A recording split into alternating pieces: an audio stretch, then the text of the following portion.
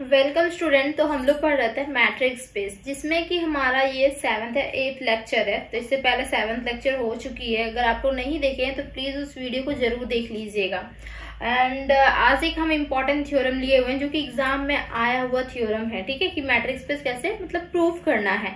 तो कुछ इस तरीके से डिफाइन है डी जो है वो D of X Y equal to mod में है एक्स माइनस वाई डिनोमीटर में हमारा one plus mod X minus Y ठीक है, इसे दिखानी है मैं क्या कि मैट्रिक्स है किस पे? आर पे मैट्रिक्स है। तो किस तरीके से दिखाएँगे? बस चार प्रॉपर्टी मीन सेटिस्फाई करवानी है। देन उसके बाद बोल देंगे कि डी जो है मतलब क्या है?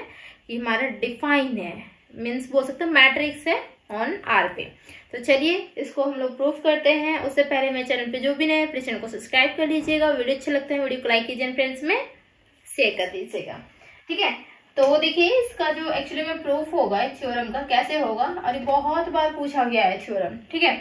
सबसे पहले तो हम लिखेंगे जो हमारा गिवन दिया हुआ है। गिवन क्या हमारा गिवन दिया हुआ है?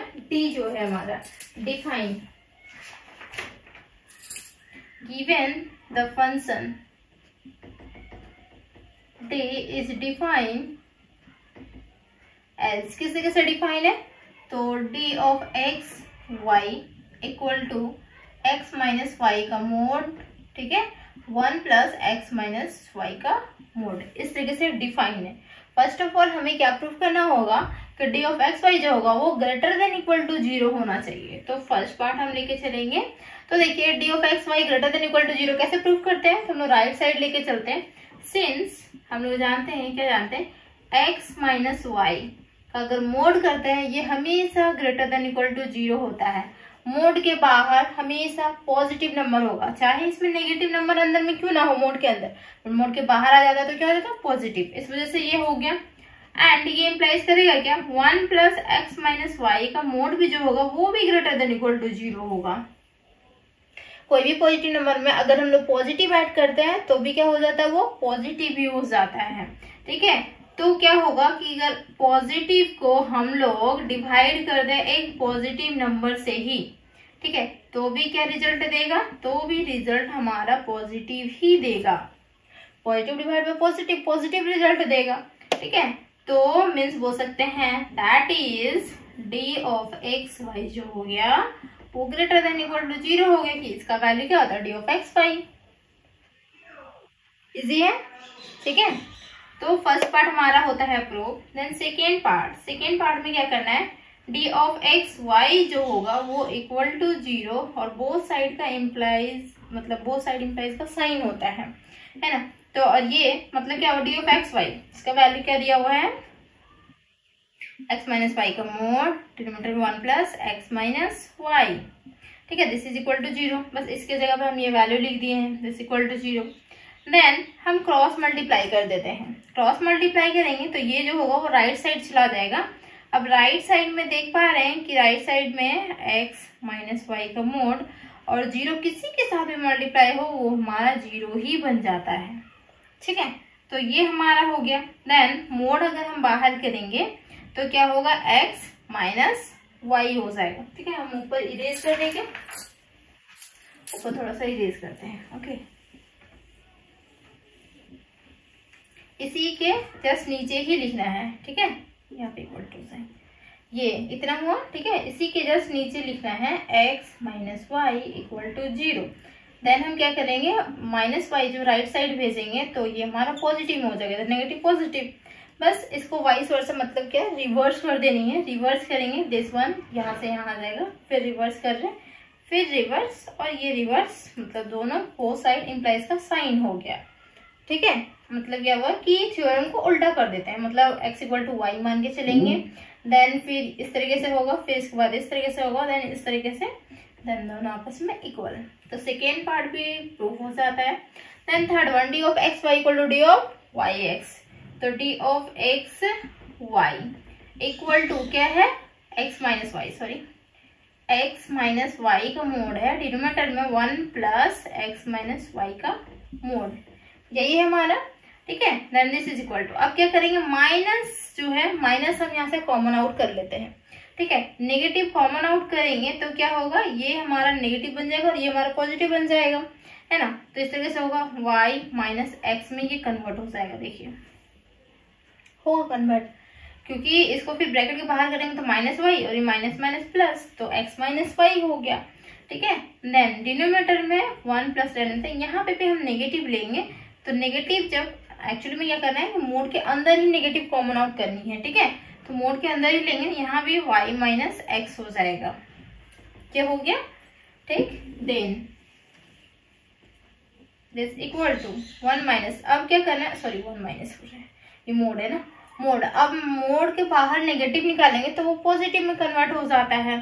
तो सिंपल y माइनस एक्स का ये मोड बच गया।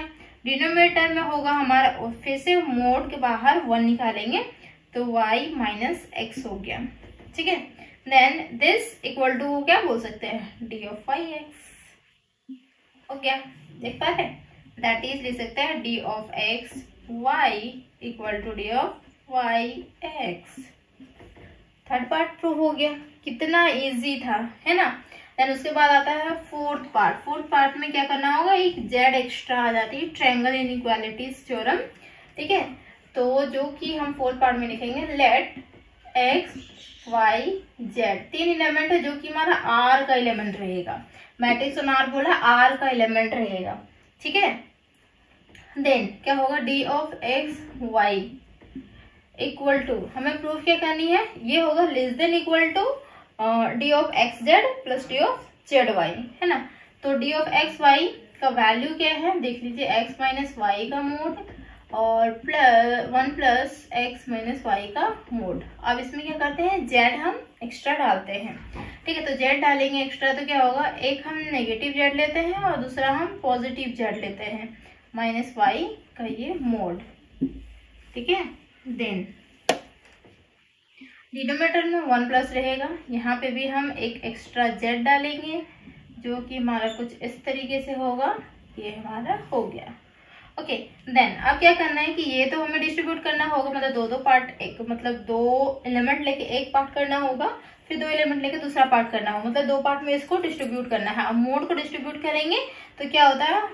ए बी का मोड जो होता है, वो less than equal to A का मोड प्लस बी का मोड ये होता है, ठीक है डिस्ट्रीब्यूशन तो यहाँ पे हो जाएगा लेस देन इक्वल का सैम्बल एक्स माइनस जेड का mod plus Z minus Y का मोड डिनोमीटर में वन प्लस फिर से एक्स माइनस जेड का mod plus Z minus Y का मोड ठीक है? तो देख पा रहे हैं कि किस आ, इस फॉर्मेशन में ये हमारा है क्या? नहीं है. एक और रूल लगेगा यहाँ पे. क्या लगता है? कि ये वाला टर्म दिस वन हम बताए हुए थे प्रीवियस क्लास में या उसके प्रीवियस में बताए हुए थे। ये रूल जो था, वो क्या था? कि x माइनस जेड का mod one plus X sorry X minus Z फिर से यहाँ था, z माइनस वाई का mod one plus Z minus Y का मोड ठीक है? अब दिख रहा है ये जो टर्म है हमारा, ये टर्म किसका है? तो इस फॉर्मेशन में ये हमारा टर्म है तो यहाँ पे था एक्स वाई तो एक्स वाई था, यहाँ पे एक्स जेड है। तो ये डी ऑफ़ बोल सकते हैं एक्स जेड प्लस ये D of Z Y actual में हमें यही चाहिए था, है ना? दैट इज़ ये डी ऑफ़ एक्स वाई जो होगा। अब लेस देन का सैम्बल यहाँ पे है तो लेस देन का सैम्बल का वैल्यू होगा। वो बड़ा होगा इक्वल टू से बड़ा होता है लेस देन इक्वल या ग्रेटर देन इक्वल जो भी होता है। ठीक है इक्वल के साथ कुछ आ गया तो वो बड़ा हो जाता है। तो उसी को हम लोग यूज़ करते हैं। देन क्या है D of X Z plus D of Z Y तो जो प्रूफ करना था, वो हम कर दिए प्रूफ ठीक है? तो हम लिखेंगे यहाँ हेंस या दस करके लिखे hence thus the all four properties are satisfy नीचे लिखिएगा, ठीक है? सेटिस्फाई हो गया हेंस जो बोला गया है क्वेश्चन में, वही आप आंसर दीजिएगा। Hence D is metric on किस पे? आर पे ये हमारा मैट्रिक हो गया। ठीक है? तो एक्चुअल में दिख रहा है कि नहीं? ये मुझे एक बार चेक करने दीजिए। नीचे दिख रहा है? नीचे नहीं दिख रहा है। मतलब पता चल रहा है ना कि हम क्या हो रहे हैं। इसके जगह पे क्या रह डी ऑफ़ एक्स वाई बस वही लिखे हुआ this one less than equal ये वाला टर्म नीचे है लिखा हुआ, ये वाला टर्म हमारा है, नीचे लिखा हुआ है। ठीक है? तो थैंक यू सो मच यहाँ तक बने रहने के लिए चैनल को ज़रूर सब्सक्राइब कर लीजिएगा। वीडियो अच्छे लगते हैं, वीडियो को लाइक कीजिए फ्रेंड्स में शेयर कर दीजिए और आप लोग जुड़े ही रहिए, ठीक है? क्योंकि हम ये पूरा पेपर कंप्लीट करवाने वाले हैं और लास्ट में तो इम्पोर्टेंट क्वेश्चन हम देंगे ही, है ना? इस सॉल्यूशन के साथ। तो टाटा बाय बाय अब मिलेंगे नेक्स्ट वीडियो